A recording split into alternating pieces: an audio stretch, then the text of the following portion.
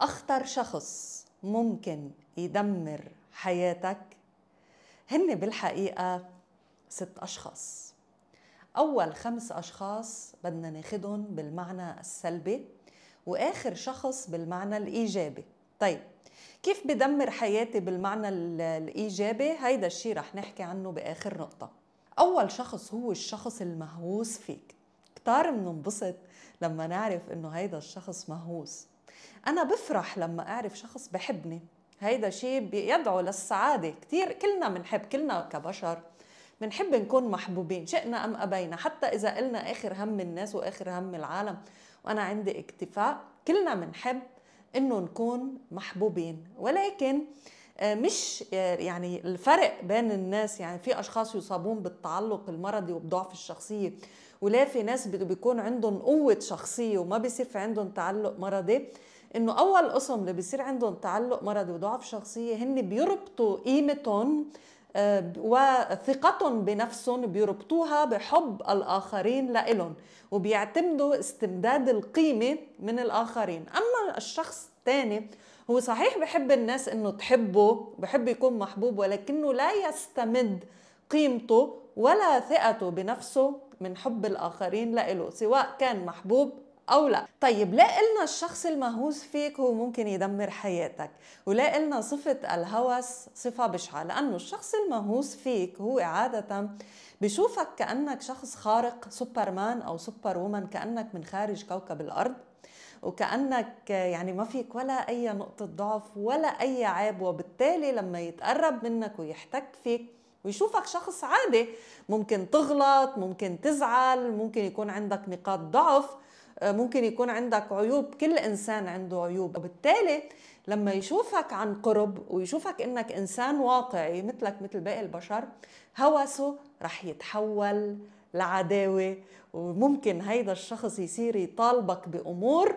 انت بالحقيقة هو كان متوقع إنك انت ممكن تعمل له اياها نظرا توقعاته الكبيرة لأنه هو مثل ما قلنا مهووس وشايفك سوبرمان أو سوبر وومن فهون لما ينصدم بالواقع رح يعتبر إنه أنت عدو أو إنه أنت خدعته أو منافق أو كذبت عليه أو مش عم تعطيه حقوقه وبالتالي الشخص المهووس فيك رح يتحول لأكبر عدو ولأكبر مدمر لحياتك. تاني شخص للأسف هو الشخص اللي بيهينك وبيشتمك لفظيا أو حتى جسديا وبيأذيك من بعدها بيجي بيقول لك بس أنا كنت معصب أنا قلبي طيب. يعني الشخص اللي بيتحجج دايما من بعد كل إهانة وكل أذية بيأذيك إياها بيجي بيتحجج وبيبرر أفعاله إنه هو كان معصب ولكن هو قلبه طيب. قلب طيب مش مبرر لأي شخص إنه يأذيك أو يهينك أو حتى يتعدى على مساحتك. وبالتالي هيدا الشخص اللي دايما عم يعمل هيدا التصرف تحت حجة إنه هو كان معصب وقلبه طيب هيدا رح يدمر حياتك. لأنه بكل مرة أنت رح تسامحه وتعطيه فرصة ومش رح يتغير وكل مرة رح يتمادى بإهانته وأذيته أكثر وأكثر ثالث شخص للأسف هو موجود بحياتنا بهيدا الزمن وخاصة بآخر خمس سنوات كتير انتشر بكل العالم. ألا وهو العالم الجاهل. مين هو العالم الجاهل؟ وأنا بدي أحذركم منه إلى أقصى الحدود. العالم الجاهل هو الشخص الذي يدعي المعرفة.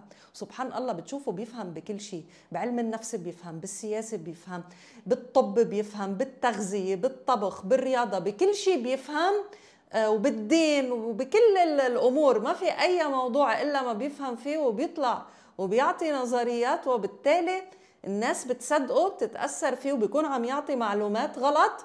وبالتالي هيدا الشخص بدمر المجتمع مش فرد أو شخص واحد ممكن يدمر مجتمع بأكمله لأنه عم يعطي معلومات غلط ما إلها دليل أو مرجعية علمية. رابع شخص هو الرجل المعقد من النساء أو المرأة المعقدة من الرجال. شو يعني الرجل المعقد من النساء بما تكوني على علاقة معه أنت كامرأة أو المرأة المعقدة من الرجال لما أنت تكون معه بعلاقة كرجل هيدا الشخص سواء كان رجل أو امرأة دائما رح يحطك موضع الاتهام والشكوك ورح يخونك مسبقا حتى إذا ما كنت أنت خاين ورح يكذبك مسبقا حتى إذا ما كنت أنت كذاب. وكل الصفات السيئة رح يحطها فيك لا اسقاط للعقد اللي عنده إياها. وهيدي العقدة النفسية عند الرجل من النساء إما نتيجة لعلاقته السيئة مع أمه أو نتيجة لصدمة عاطفية سابقة آه، من حبيبته من زوجته من طليقته. نفس الشيء بالنسبة للنساء. قد يكون مشاكل تربوية وعلاقة سيئة مع الأم أو الأب أو حتى خذلان عاطفي أو تجارب صدمات عاطفية سواء مع زوجها أو طليقة أو حتى حبيبها السابق. وبالتالي هيدا الشخص اللي بعده ما تشافى من عقدته من الجنس الآخر هيدا احتمال كتير كبير إنه يدمر حياتك. خامس شخص هو الشخص المزاجي الرمادي. يعني هيدا الشخص على مزاجه أوقات بيهتم وأوقات بيتجاهل. مرة بحبك ومرة ما بحبك مرة بغيب ومرة بيرجع. هو مش عارف حاله شو بده من هيدي العلاقة. يمكن مش قاصد يعمل هيك ويمكن قاصد. يمكن هو شخصية حدية يعني مش قاصد يعمل معك هيدا التصرف ممكن عن قصد عم يعملها. عن تلاعب. وبالتالي الشخص الرمادي بسموه situationship يعني أنت مش عارف حالك بالعلاقة شو. لا صديق لا حبيب لا بده يرتبط ولا ما بده يرتبط. يعني بخليك لا معلق ولا مطلق. هذا الشخص أيضا رح يدمر حياتك ومستقبلك لأنه مش رح يعطيك كلمة. وبالتالي أنا بنصحك هذا الشخص ما تعتبر حالك مرتبط فيه عامله بنفس أسلوبه وما توقف حياتك ومستقبلك على علاقتك معه. آخر شخص الشخص اللي قلنا تدمير إيجابي. هو الشخص اللي سامحك كتير وعطاك أكثر من فرصة.